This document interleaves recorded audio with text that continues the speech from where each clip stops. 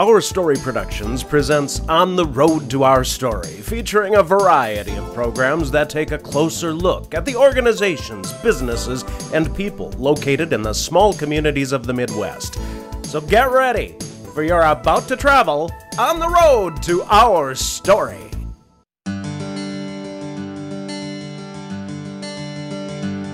Bonnie P. Silage here, reporter from Sweet Swine County. My colleagues and I are excited to present a series of stories about our neighboring towns and counties, their points of interest and business, so take a look. Located in Owatonna, Minnesota in Steele County, you will find Completely Kids, a maternity established in August 1998. With the cost of living constantly climbing and the movement to go green, Ruth wanted to help people save money and recycle too. Their mission is quality at affordable prices. With over 2,500 square feet of showroom, they offer one-stop shopping for your kids from newborn to size 16. As well as clothing, they sell baby equipment, toys, and books. These items are clean and checked for safety and recall. For mom, they offer maternity clothing and a play area to keep your kids busy while you shop. Although their store is a resale shop, they offer many new items as well. Completely Kids and Maternity specializes in special occasion attire for kids from infants to big kids at reasonable prices. With the area's largest selection of baptismal garments and First Communion dresses and veils in stock, they also special order flower girl dresses and boy suits and tuxedos. They purchase baby equipment on a daily basis, so selection changes continuously. The next time you're in Owatonna, Minnesota, stop in and see what you can find at Completely Kids and Maternity.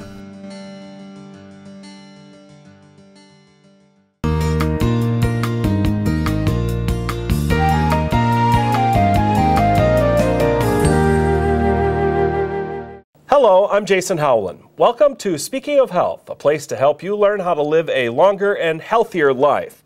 Arthritis is one of the most common health problems in the U.S. Millions of Americans have some form of arthritis that leads to pain, stiffness, and loss of motion. Many of those folks are over the age of 65, but people of all ages, including children, can be affected by arthritis. Our guest today is Becky Ness. She is a physician assistant who practices in the specialty of internal medicine at Mayo Clinic Health System. Becky, thanks for joining us today. You're welcome. Thanks for inviting me. Well, arthritis is our topic today, as I said. Let's begin by defining what exactly is arthritis. Okay. Well, arthritis is an inflammation within the joint. It can cause pain, stiffness, swelling at times, typically worsens with age. Um, and the two main types of arthritis we'll talk about are osteoarthritis, secondary to normal wear and tear, and then rheumatoid arthritis, which is an autoimmune condition. So, uh, what are the common symptoms of arthritis? Most commonly, people notice pain or stiffness. There can be some swelling, particularly with rheumatoid arthritis or an infective type of arthritis. There can be redness.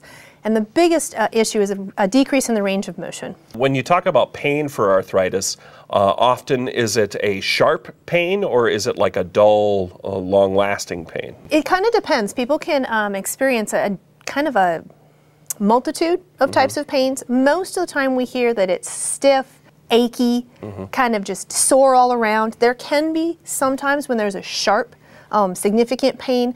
Um, osteoarthritis pain tends to be worse until we start moving and get the joint moving, and then it lessens to some degree and sometimes completely goes away. With rheumatoid arthritis, it can be incredibly debilitating and last um, without relief with motion.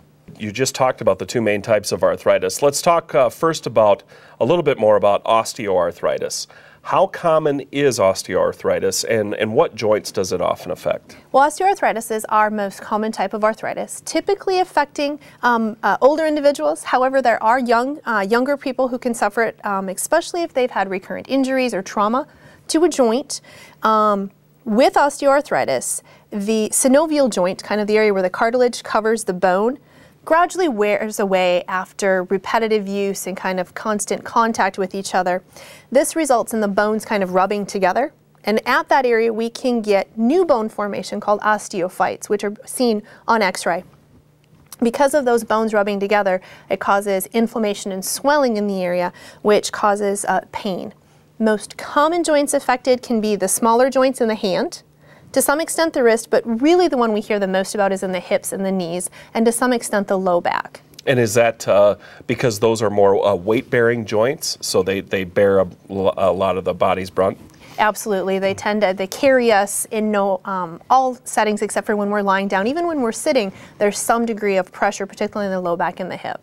So does the cartilage sort of act like a, a tire on a car, uh, and then over time it uh, it's wearing down, and and that's what osteoarthritis really is, or is it different than that? Kind of. A different example that I give to my patients is if you have a chicken bone, mm-hmm. and the ends are kind of nice and shiny and then the dog gnaws on them or you're scraping the, the uh, meat off of the bone and you can kind of see how it gets frayed and irritated and dull instead of that nice smooth shiny that's kind of what happens so uh, let's talk about rheumatoid arthritis. So that is different from osteoarthritis. It is. Rheumatoid arthritis is what's considered an autoimmune condition, meaning the body's immune system is starting to attack itself. And in rheumatoid arthritis, it um, affects the lining of the joint capsule. That's a tough membrane that kind of encloses the joint. And as the body's immune system attacks that, um, it uh, causes inflammation and swelling within that joint, and over time, destruction of the joint itself.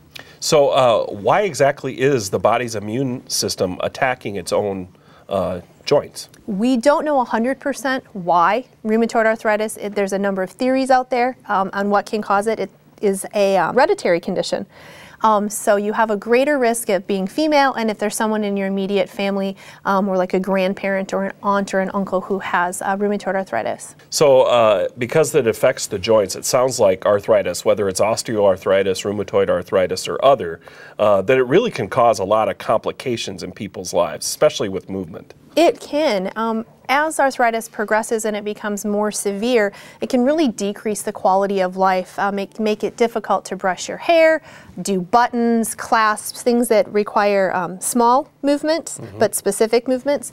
It also makes it difficult to change position, getting up, walking, climbing stairs, getting in and out of a vehicle. So, uh, who's at more at risk for getting arthritis? Are there uh, certain people that just uh, are more at risk for getting it? Well, like I said before, particularly with rheumatoid arthritis, but to some extent with osteoarthritis, the family history, um, people who tend to be overweight can be uh, more at risk. If there has been a previous injury or trauma to the joint can increase the risk of arthritis developing, and age is a big one. Uh, and when you say family history, are you talking uh, immediate family, or can it skip a generation, or is, it all random? It all depends. It kind of depends on the arthritis in the family. Um, there are uh, families where it's generation after generation after generation, and then there's others where it's kind of sporadic and it'll skip one or two generations, but it's still there.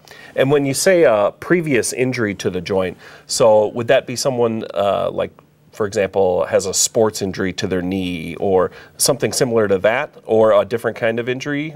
Runners who have just kind of a constant impact type injury, um, lacrosse players, um, that type of thing. And then also people, um, professions like people, um, carpet layers, electricians, plumbers who spend a lot of time bent over, small mm-hmm. conditions, on their knees, hard floors.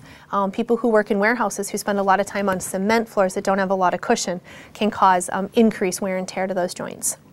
So, uh, when someone has been diagnosed with arthritis, uh, how do you, as their provider, how do you help them treat it? Well, the first thing that we focus on are things that they can do to help slow down the progression uh, of the disease and to some extent reverse it, such as weight loss, regular physical activity. There are over-the-counter medications that can be used. Um, acetaminophen or Tylenol is probably the most recommended. Uh, there are some anti-inflammatory medications like ibuprofen, Advil, ex, um, Excedrin, Aleve, um, but those non-steroidal anti-inflammatory medications can interact with a lot of medications and aren't really recommended with other health conditions, so we recommend that you follow up with your healthcare provider before you would take any of those. Physical activity to help keep the joint lubricated um, and moving like walking, swimming, bike riding. Um, application of heat like a hot wet towel or a hot pack can be really helpful. And there's topical medications available over the counter like Aspercreme, Myoflex, Bengay that have some inflammatory, um, anti-inflammatory component to it. Um, Biofreeze is another one that's available without a prescription. And then there's prescription anti-inflammatories like diclofenac that can be helpful as well. And all of those um, um, medications, should you talk to your provider before you start taking them? I would recommend it because mm -hmm. depending on the type of arthritis, the severity, and the joint involved, there's going to be different recommendations on how often to use them or apply them. So, uh, what about physical therapy? Can physical therapy help? It can. Physical therapy can be really beneficial. Um, it can act as kind of a catalyst to get people moving and active again because you kind of have a coach alongside you helping you with what activities to do, how to do them, how often to do them. Uh, one or two sessions with a physical therapist to show you how to do an activity safely um, to prevent further harm can be beneficial as well. Because I would imagine that's often the problem with folks with arthritis is, is that um, uh, they make do by doing things that are actually probably causing more harm as far as movement goes with their body, and physical therapy can probably help them with that, right? They, they can, yep, because what the physical therapist will do is the proper technique to do an exercise mm-hmm. that'll also give stretching and strengthening activities for the muscles above and below the joint to help with stability and to lessen the impact on that joint. What about surgery? Um, are there surgical procedures that can help uh, alleviate pain and symptoms with arthritis? There are. Um, you know, in office procedures, um, they can do a corticosteroid injection into the knee to de- or the joint affected to kind of decrease um, the inflammation. Um, but when those modalities fail or the pain becomes too great, um, we'll do a total joint replacement, most commonly in the hips uh, and the knees. Um, not too many of the other joints at this point have been uh, corrected surgically uh, in that regard. And when it comes to a joint replacement surgery like that, does that uh, eliminate the arthritis completely? It can in, in very many people. Um, the biggest thing with joint replacement surgery is you have to do the physical therapy, you have to stay active, you have to abide by the restrictions of how to move, how not to move. Um, with that joint because you can do damage to an artificial joint as well, and that a lot of times causes more pain than it fixed. Uh, what about alternative medicine, things like uh, acupuncture, yoga, that kind of thing? Do those uh, help? They can. They can actually be very beneficial. Yoga and Tai Chi I recommend to almost all of my patients, whether they have arthritis or not, but particularly to those with arthritis because, again, it's minimal impact, gradual range of motion to help with balance, stability, and strength. And then acupuncture um, is up and coming. More insurance companies are covering the procedure, but it can be very beneficial for the pain and the inflammation involved in um, arthritis as well. All right, so uh, what advice do you have for people who want to, uh, they don't have arthritis, but they want to prevent it from occurring down the road?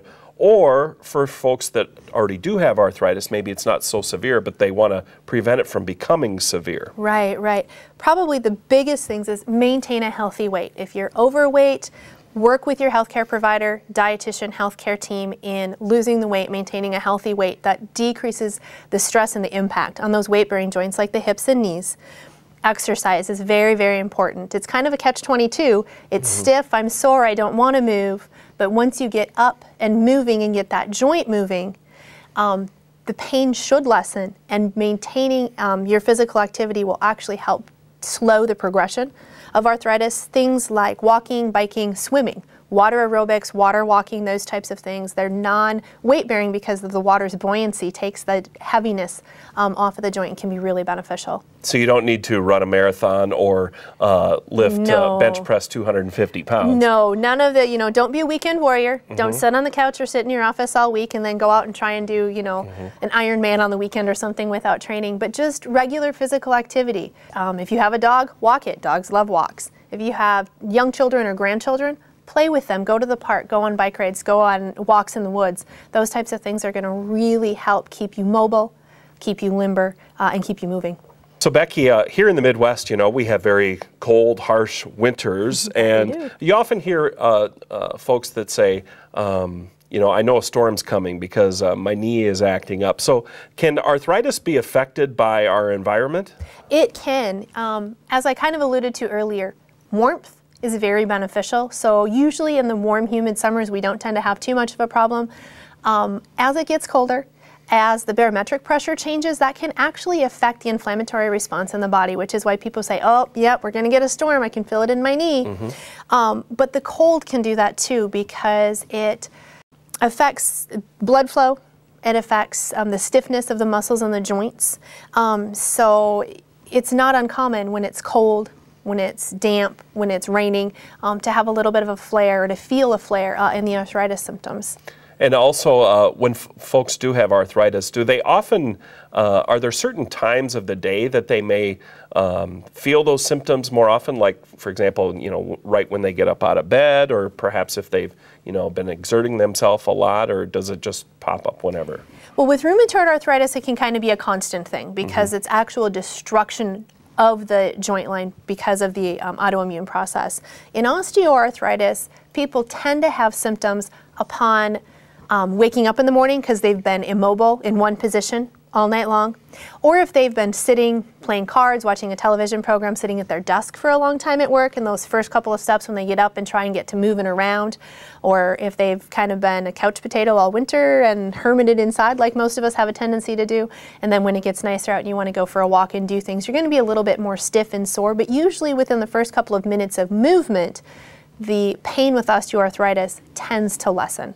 And there is no cure for arthritis, correct? No, there is not. So, uh, so it's basically um, preventing, trying to prevent arthritis from occurring, or lessening the symptoms, or helping alleviate the symptoms. Correct. Right. The biggest thing that we really try and focus on is prevention. So, Becky, you mentioned uh, heat as being um, a treatment for arthritis symptoms, things like a heating pad or a, uh, uh, a heat, heat pack. Uh, can that be overdone? Can you give your body a little, your You- joints too much heat? You can actually, yep. Um, I know they sell over-the-counter thermacare wraps and those types of things. I'm really cautious of those. My personal preference is a hot, wet towel because it's going to gradually cool with exposure to the ambient air temperature. Really, what the goal with heat therapy is no more than 10 to 15 minutes in any given application. Too much heat, usually 15 to 20 minutes or greater, is actually going to cause an inflammatory response, which is going to be counterintuitive to what we're trying to do. All right. Well, unfortunately, we are all out of time, but I'd like to thank our guest today, Becky Ness, physician assistant from Mayo Clinic Health System, for joining us today on Speaking of Health. A great topic. Thank you very much. Thank you for having me. Have a great day, everyone, and be healthy.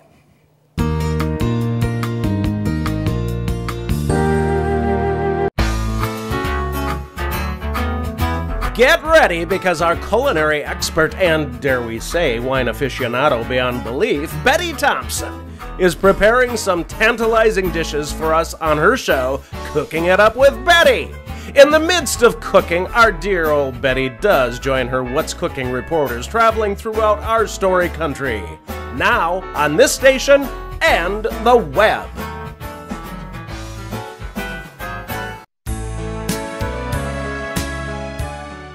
Hello, Sweet Swine County. This is Clarice Plow, head reporter for Hidden Away, Not Forgotten. We have lots of people, places, and things to do. My team of reporters and I have been traveling throughout our story country in search of big stories in small towns. In Minnesota's Lyon County, in the town of Marshall, the Cool family tradition of retail for men's clothing was born, and they proudly named their legacy Mr. Cool's Clothing. Joe Cool started his career in the family legacy after leaving the Army. Joe worked at Ed's Toggery, a men's clothing retail shop. In 1941, Joe bought the building where his grandfather, also Joe Cool, had owned and operated Cool's Tavern for years. Joe took what he learned from Ed and turned the tavern into Mr. Cool's, his very own clothing store. Later, Joe's brother, Lawrence Cool, came to work for Joe at Mr. Cool's clothing as well. At the age of 13, Brad Cool started working part time at his father's store and continued to do so throughout his high school years. In 2001, Brad came to work full time for his father at Mr. Cool's Clothing. For years, Brad learned the trade from Joe and Larry. Eventually, Brad took over running Mr. Cool's, and after Joe's retirement, Brad became the proud owner of Mr. Cool's Clothing and carried on the family tradition. The next time you're in Marshall, make plans to stop by Mr. Cool's Clothing for the finest in men's clothing attire. Mr. Cool's Clothing, Marshall, Minnesota.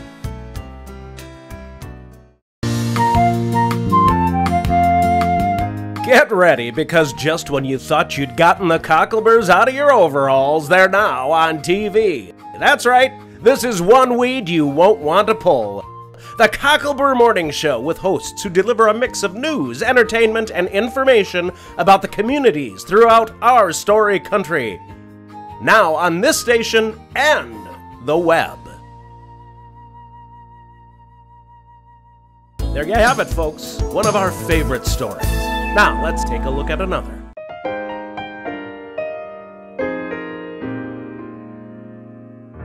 Good day. I'm Connie Anthony, and welcome to another episode of Making a Difference, where together we continue to learn about businesses, organizations, and the people in our communities that are changing their world. Dr. Jonas Salk said, I feel that the greatest reward for doing is the opportunity to do more. Here are a couple of organizations that are doing more for their community. Thank you, Connie. And today we are not only going to take a look at an organization that's making difference, but a person that's making a difference. Taryn Tumbleson. Taryn, welcome to Making a Difference. Thank you. Uh, we're excited about having you on today, and I know you do a lot of things in the community and are a very, very active person. Uh, I made a couple notes about what we already know. Listen to this, ladies and gentlemen. A junior at Martin County High School, active in volleyball, basketball, track, and field. She plays for the Minnesota Star basketball program based out of the Twin Cities, active in band as a section leader, jazz band, FFA, student council, the president of SADD at 4 H. She is a tutor, lifeguard, youth group leader. You know, wow, that's a lot to do. And I also know you do a lot of incredible things beyond that. So you're a very busy person. Yes, very busy. Now, tell us a little bit about Operation Christmas Child. What is that? Operation Christmas Child is a Christian mission project started by Samaritan's Purse and led by Franklin Graham. How did you get started? How did you get involved? I got involved by a family friend had told us about it, and my family started packing when I was four years old. Now, wh- when you say packing, what exactly are you packing? In the shoe boxes, all you need is a simple shoebox gift, um, and in the gift you have multiple small gifts, and you also need the desire to spread God's love. Okay. Where do they send them, or what do you do with them? The boxes are collected at relay centers and then sent to collection centers, and from there sent to processing centers, where there are seven processing centers in the United States. So we're very lucky to have one in Minneapolis. And from there, they're shipped out to poverty stricken children around the world.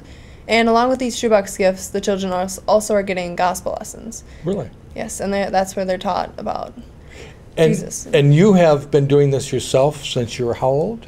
Uh, I've just been packing shoeboxes since I was four years old. Oh, just since you're four. Just since I was four. So you're just kind of getting started. Yes, right. It's incredible.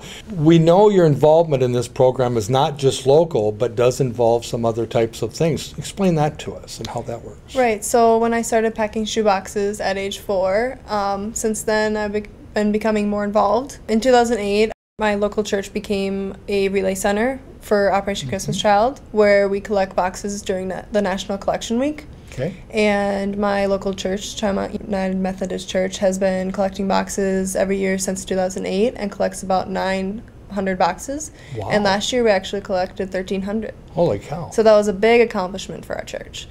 And so since then, I have been still collecting boxes and spreading the good news of Operation Christmas Child and what it does. And in 2012, I became a co relay center coordinator with my mom. Sure. Now, what does that involve as far as your duties uh, uh, with that part of the program? Being a co relay center coordinator involves just getting things organized and making sure you have workers for the seven days of the week that you are open. And so that everything goes well, you organize the boxes into larger boxes to be sent out to the collection center, which we send them out to Worthington.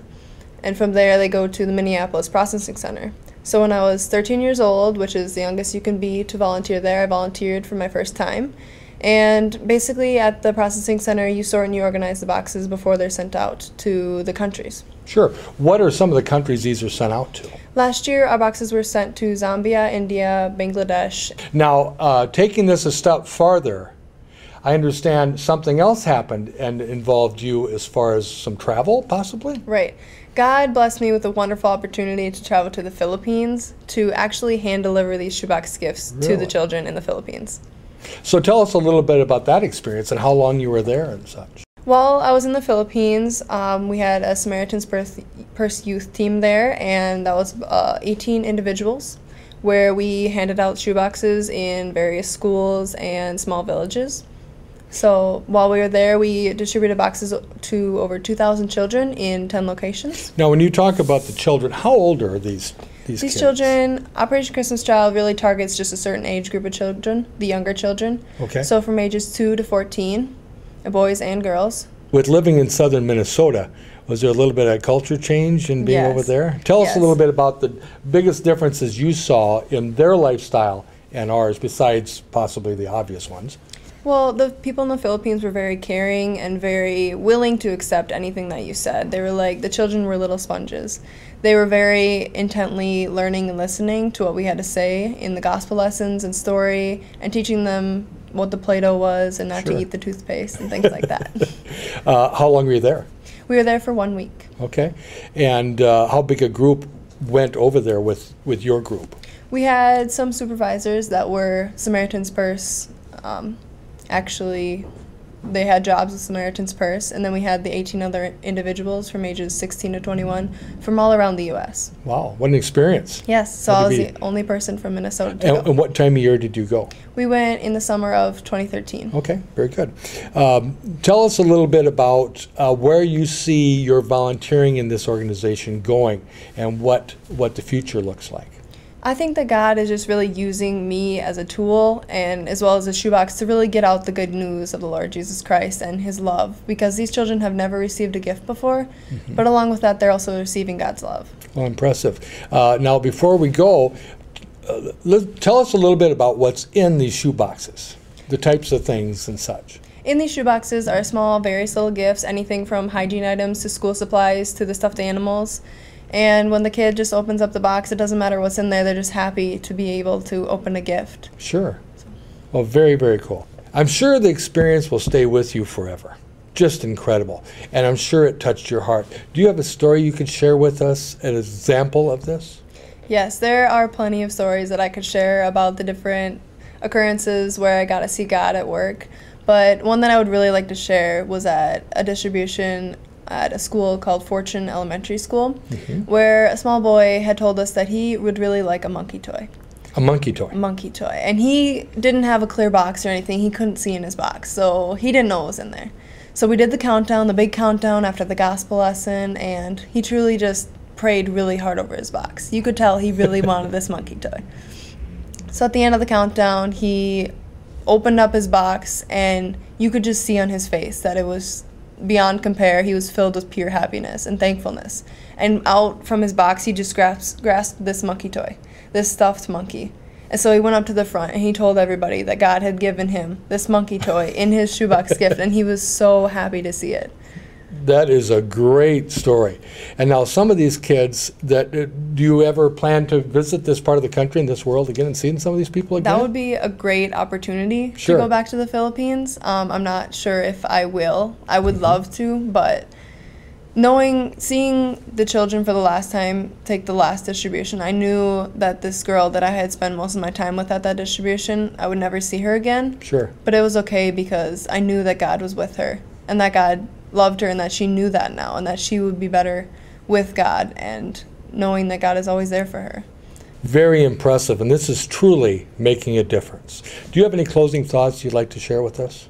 I would like to say that whatever God plants in your heart to put in a shoebox is that that's what you really should put in a shoebox. Whether it's 23 pencils or two stuffed animals, that's what God has put on your heart to put in a box. And it doesn't quite matter what's in the box as long as it's appropriate, but the most important thing to put in a box is prayer.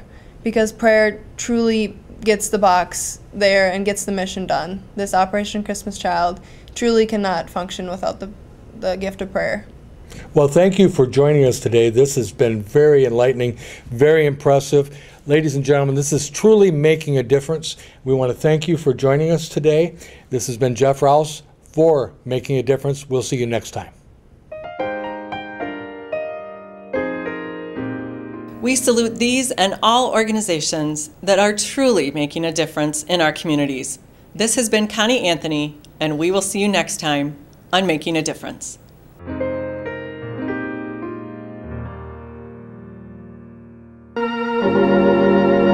Get ready because now you can watch the zany soap opera that tells the story of the citizens of Sweet Swine County who live and love as the corn grows. The show gives viewers a tongue in cheek look at life inside Sweet Swine County with a lovable cast of characters who bring new meaning to the word corny. Now on this station and the World Wide Web.